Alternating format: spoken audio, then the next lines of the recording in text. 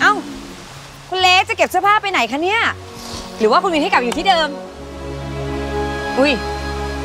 นี่หรือว่าโดนทำโทษเรื่องที่ทำให้ทุกคนตกอกตกใจเมื่อเช้าคะ เล็กจะกลับบ้านแล้วแต่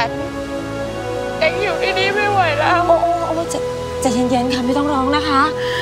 คุณเล็กจะไปไหนไม่ได้แล้วค่ะนี่จะมืดแล้วอันตรายใจเย็นๆนะ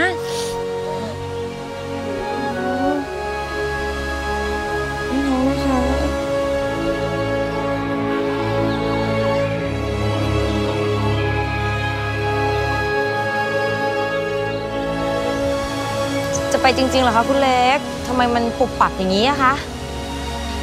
เล็กอยู่ไปก็มีแต่สร้างปัญหาให้เจ้านาย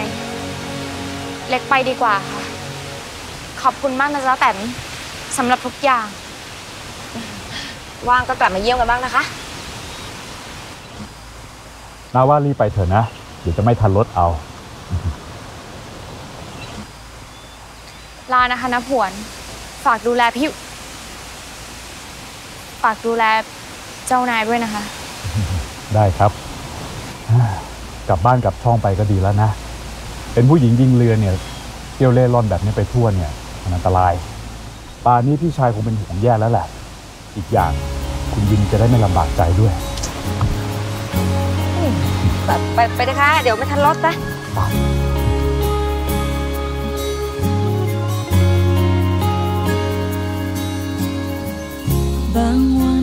ีบางทีก็ร้ายร้ายกว่าใคร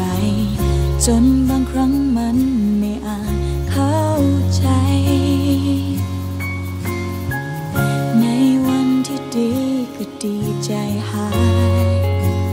รักยิ่งกว่าใคร แค่เพียงไม่นานก็ทำร้ายใจ